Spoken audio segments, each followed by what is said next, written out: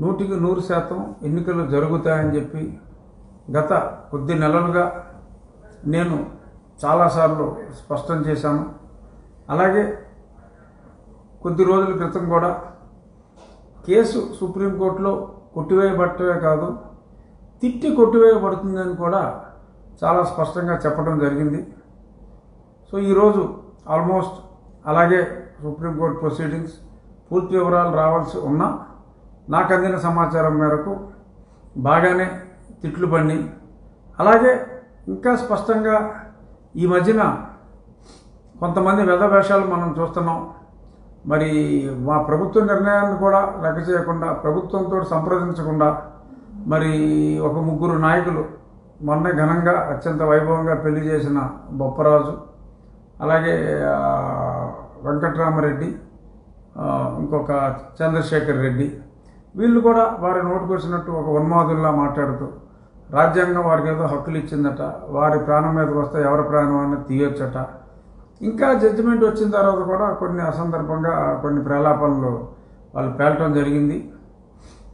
My appeal ఈ సందర్భంగా supreme court తీర్పు వచ్చిన తర్వాత కూడా ఇంకా ఉన్మాదుల్లా మాట్లాడుతున్న ఈ ఈ ఈ ముగ్గురు మూర్ఖులు అనాలో లేకపోతే మరి వాళ్ళకాలు ముగ్గురు మునగాళ్ళు అనుకుంటున్నారు. ఈ ముగ్గురు మూర్ఖుల్ని తక్షణం సర్వీస్ నుంచి రిమూవ్ చేయాలని చెప్పి నేను మా ప్రీతమ ముఖ్యమంత్రి గారిని కోరుకుంటున్నాను. చాలామంది మాట్లాడుతున్నారు. ఎందుకంటే గతంలో కొంతమంది మా అదే ఆంధ్ర రాష్ట్ర ప్రభుత్వంలో కీలక పదవుల్లో ఉన్న మంత్రిత్వ శాఖల్లో ఉన్నవారు చాలామంది ఏదో ఒక సింగిల్ బెంచ్ ఆర్డర్ ఫేవరబుల్గా వస్తే చాలా ఎక్కువగా అవాకులు చవాకులు పేలటం జరిగింది. అలాగే మరి సాక్షాత్తు నిన్న చూసాము చాలా జుగుప్సాకరంగా. ఎంతోమంది మాట్లాడారు. సరే మా ముఖ్యమంత్రి గారు అయితే ఎప్పుడు మాట్లాడలేదు. That so nice of but ఎంతో బాధ్యతగా ఉండవలసిన సభాపతి గారు కూడా ఆయన చేతి గ్లౌస్ వేసుకుని ఆయన చక్కటి వాగ్దాడితో చెత్త చెత్తగా వారు కూడా అఫ్ కోర్స్ ఎందుకంటే ఆయన స్పీకర్గా మాట్లాడలేదు కాబట్టి I have every right to criticise even if is the speaker of the assembly he did not he did not utter those words as the speaker as an individual MLA he spoke against the constitutional provisions and against the state election commissioner see మనం ఒక బాధ్యతయుతమైన పదవుల్లో ఉన్నప్పుడు రాజ్యాంగబద్ధంగా మనం ఎన్నికై అదే రాజ్యాంగానికి తూట్లు పొడిచే విధంగా మనకు కావాల్సిన డెఫినేషన్లు మనం ఇచ్చేసుకుంటూ ఏదో మనం ఏదో పెద్ద గొప్పవాళ్ళలాగా పుడ్డింగ్లాగా మనం ఏదో మాట్లాడితే ప్రజలు ఏదో చూసేస్తారు అని లేకపోతే ఇంకెవరినో ఇంప్రెస్ చేయడానికో లేకపోతే మరేమన్నా కొన్ని చాలామంది మాట్లాడేది మరి మంత్రి పదవుల కోసం ఎందుకనో చాలా ఎక్కువగా మాట్లాడుతున్నారు. ఈ ప్రాసెస్లో ఏ ప్రక్రియలో ఏ రాజ్యాంగం ప్రకారం మనం పోటీ చేసి ఎన్నికల్లో నెగ్గాము అదే రాజ్యాంగాన్ని తూట్లు పొడిచే విధంగా ఈ రకంగా మరింతమంది మాట్లాడారు. ఇప్పుడు వీళ్ళందరూ ఏం సమాధానం చెప్తారు? ఇప్పుడు కూడా ఈ పనికిమాలిన సలహాదారులు మా ముఖ్యమంత్రి గారికి చాలామంది ఉన్నారు. ఈ పనికిమాలిన సలహాదారులు మరి మరి ఈవెన్ మరి director general of police and chief secretary గారు కూడా ఏం సలహాలు చెప్తారు? దిక్కుమాలిన సలహాలు నా భయాలు నాకు ఉన్నాయి. వీరు మళ్ళీ ముఖ్యమంత్రి గారి దగ్గరికి వచ్చి అయ్యా మనం we are above the Supreme Court sir అసలు మనం ఏంటి సార్ మనం నూట యాభై ఒక్క సీట్లు సార్ అని ఇలాంటి దిక్కుమాలిన కబుర్లన్నీ మళ్ళీ వచ్చి చెప్పి మరి ఏదన్నా మరి మా ముఖ్యమంత్రి గారి చెవిలో మరి ఏదన్నా ఆయన మనసు మార్చే ప్రయత్నాలు చేస్తారేమో? మరి chief minister sir my appeal to you on behalf of the majority of the people of the state.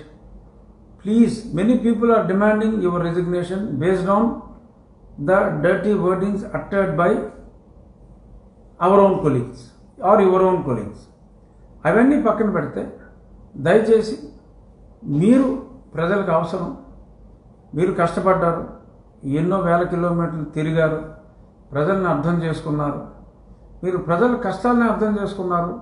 కానీ మరి రాజ్యాంగాన్ని ఇప్పటి వరకు మీరు ఏమాత్రం అర్థం చేసుకోలేకపోయారు. రాజ్యాంగాన్ని మీరు కానీ మీ పక్కన ఉన్న వాళ్ళు కానీ కాస్త అర్థం చేసుకున్నా ఇన్ని వందల కేసులు పైన మనం ఓడిపోయే పరిస్థితి వచ్చుండేది కాదు. చాలా స్పష్టంగా అందరూ కూడా చాలా క్లియర్గా చెప్తున్నారు. మరి మీ దగ్గరికి వచ్చేటప్పటికి మరి మీ చుట్టూ ఉన్న వాళ్ళు మరి అన్నీ ఫిల్టర్ చేసి మంచి వాళ్ళందరినీ కూడా ఫిల్టర్ చేసి ఈ రకంగా మిమ్మల్ని you think on your own this is what every time I'm pleading think on your own and your decision would always be correct please throw these fellows keep them at bay వాళ్ళని ఆ పనుల్లోంచి విధుల్లోంచి తొలగించండి. ముఖ్యంగా ఆ ప్రజా సంబంధాలని ఏవో పెట్టి అన్నింటిలోనూ తలదొచ్చి చీటికి మాటికి మాట్లాడే వ్యక్తి అదే పనిగా ట్వీట్లు ఇచ్చే వ్యక్తులు ఇలాంటి వాళ్ళందరినీ కీప్ దెమ్ ఎట్ బే అప్పుడే మనం పూర్తిగా ప్రజలు మీ దగ్గర నుంచి ఏం ఆశిస్తున్నారు? సంక్షేమం ఆశించిన దానికన్నా దండిగానే మీరు ఇస్తున్నారు. అలాగే అభివృద్ధిలో మటుకు వెనకబడిపోయామన్నది నూటికి నూరు రూపాయలు నిజం. ఇక నుంచి సంక్షేమంతో పాటు అభివృద్ధిని కూడా మీరు అదే వేగంతో ముందుకు తీసుకెళ్ళాలని చెప్పి రాష్ట్ర ప్రజలందరూ కోరుకుంటున్నారు. ఈ సందర్భంగా సుప్రీంకోర్టు చివాట్లు పెట్టిన సందర్భంగా మనం దీన్ని ఒక పాజిటివ్ ఇండికేషన్గా తీసుకుని పాస్ట్ ఈజ్ పాస్ట్ సరే మీరు నిజంగానే కరోనా గురించే కంగారు పడ్డారేమో కరోనా సమయంలో ఇది కరెక్ట్ కాదు అనుకున్నారేమో. ఎందుకంటే ఎవరైనా కంగారు పడవచ్చు కరోనా గురించి. కరోనా గురించి చాలా కరెక్ట్గా మీరు అర్థం చేసుకున్నారు. ముందే దీని గురించి మనం భయపడక్కర్లేదన్నారు. సరే ఇతర దేశాల్లో కరోనా వచ్చి ఆల్మోస్ట్ ఐదు శాతం ఆరు శాతం డెత్ రేట్ ఉంది. లక్కీగా మన భారతీయులకు ఉన్న ఇమ్యూనిటీ వలన దేని వలన కానీ one point seven percent death rate course ఇది చిన్న లెక్కల్లో అటు ఇటు కొంత కొన్ని నొక్కులు నొక్కుండొచ్చు. ఏదైనా టూ పర్సెంట్ కన్నా డెత్ రేట్ భారతదేశంలో లేదు కాబట్టి మనం మరి పదివేలు యావరేజ్ ఒక నెల రోజుల పాటు మనం మెయింటైన్ చేయడం జరిగింది.